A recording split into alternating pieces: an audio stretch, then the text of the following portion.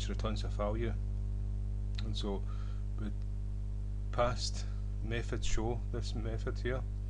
To this method because it took an int argument and we returned an int.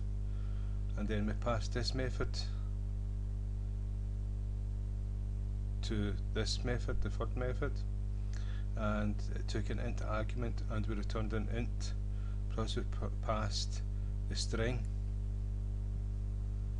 name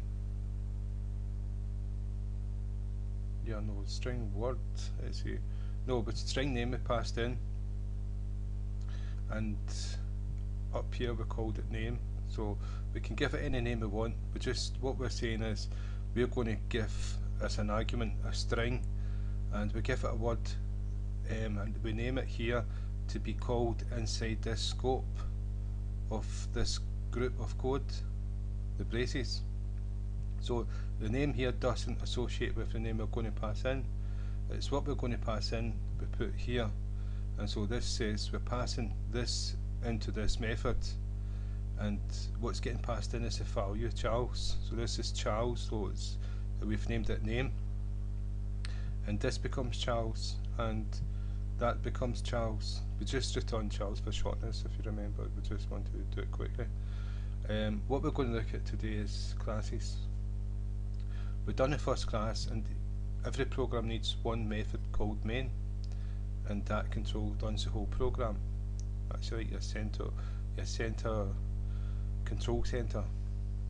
So we've got two other classes we, we created and a class is starts off with the, the class keyword to let Java know it's a class and then we give it a name like everything else we give it a name so we can access it.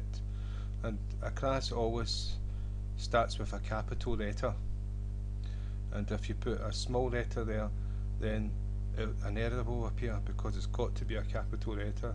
That's the difference between a method and a class. And, and a variable.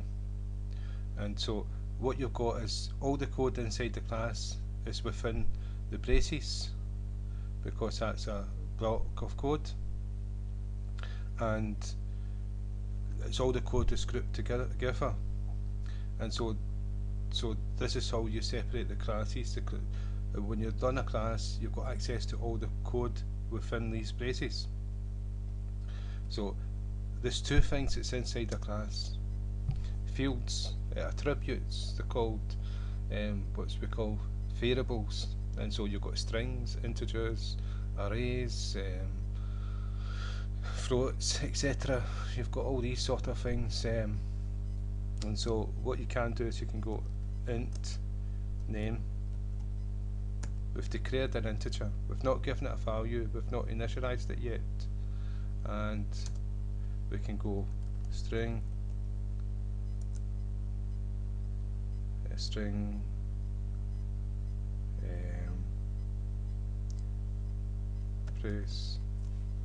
just anything, and we're not giving it a value, we've just declared it.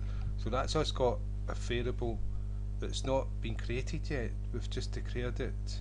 It's not been created until we give it a value, then it's put into memory.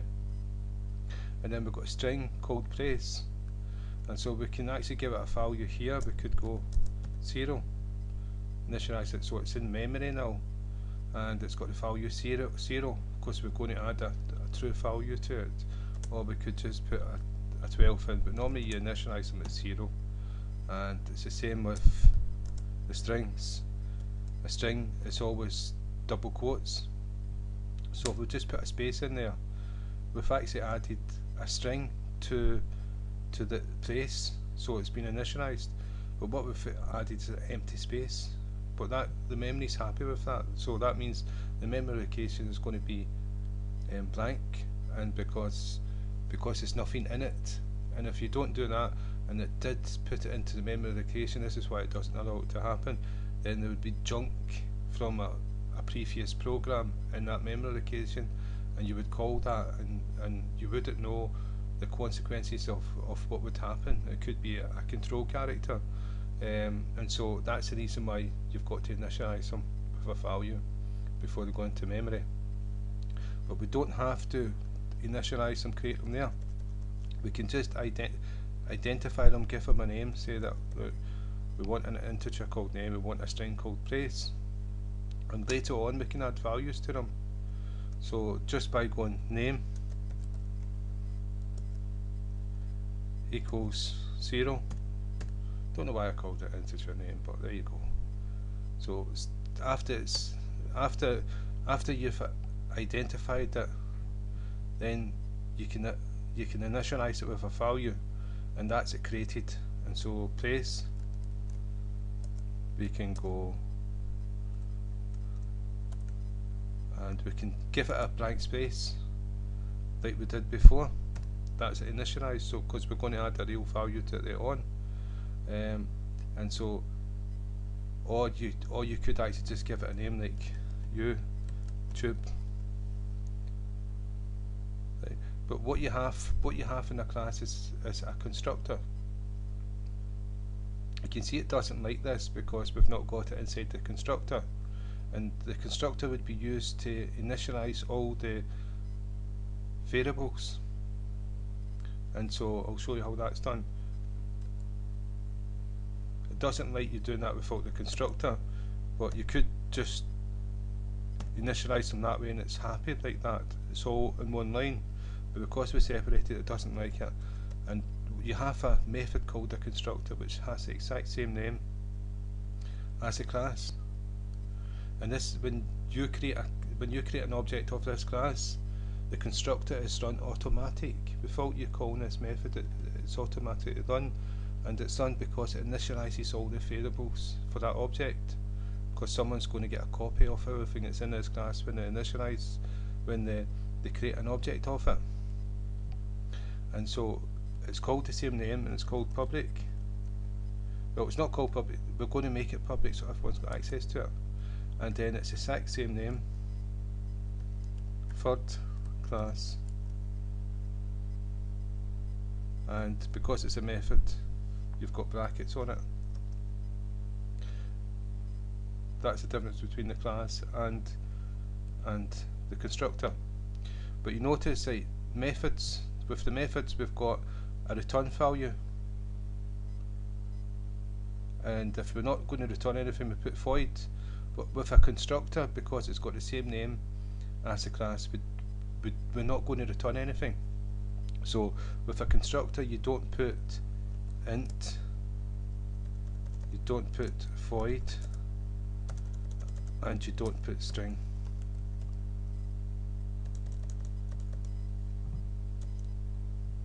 because it's a constructor. All it's, all it's going to do is initialize this class.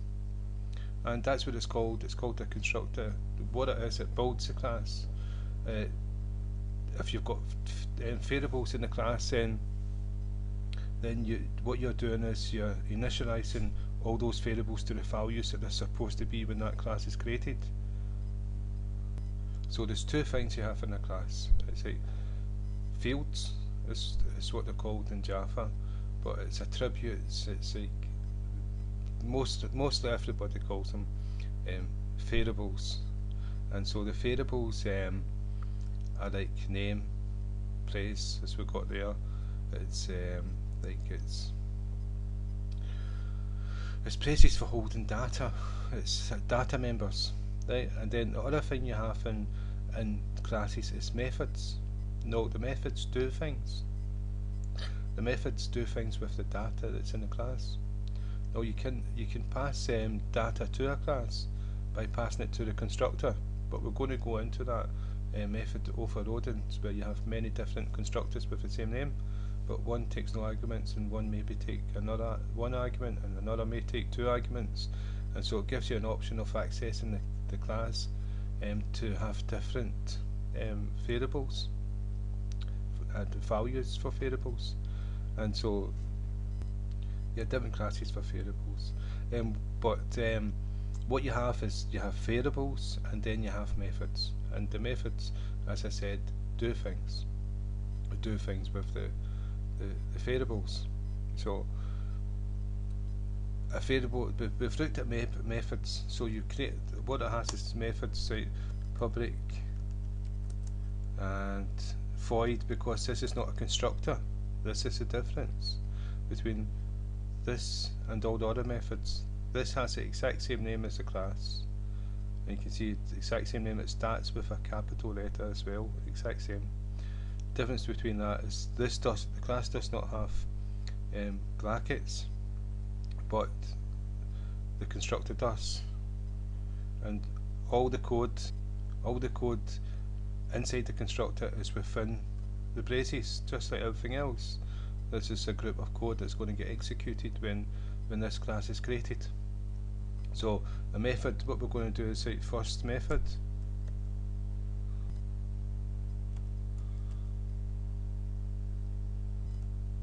Method. Right, so first method, or just first meth, and you have brackets and braces. So that's a method. And so that's going to do something. And it's going to do something which is passed to it or it's going to do something with one of these here within the group of code or one of these passed to it and it can be it's going to do something or return something so that's a method. A method does something. So there's two things you have in a class. Attributes of a class which is variables and methods. Now the constructor is part of the class. That initializes all the variables in the class. When you create one. Remember every time you create an object of a class it's different copies for each object for each object and so that's that's why so if I create um, an if I instance this class one time then it inst instance it again it'll be a copy of this in both occasions with separate copies. Each each object will have a separate copy of name and a separate copy of place. And so if one copy changes the value of name the other copy does not have that change. If it changes it has its own change. So it's individual copies of a class. And that's what objects are. And that's the difference between like objects and static. Static you cannot create a copy. There's just one static and you access it directly not through objects. And so that's names. I'm going to put a couple uh, that's some methods I'm going to put a few more in here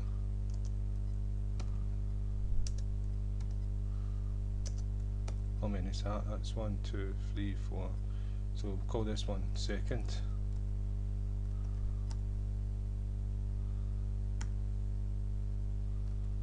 And we'll call this one fourth. And notice um, methods are lowercase and the constructor is uppercase and the class is uppercase first letter. And so you have to do this to allow Java to know the difference between methods and classes and constructors and all the rest of it. If you don't, it will throw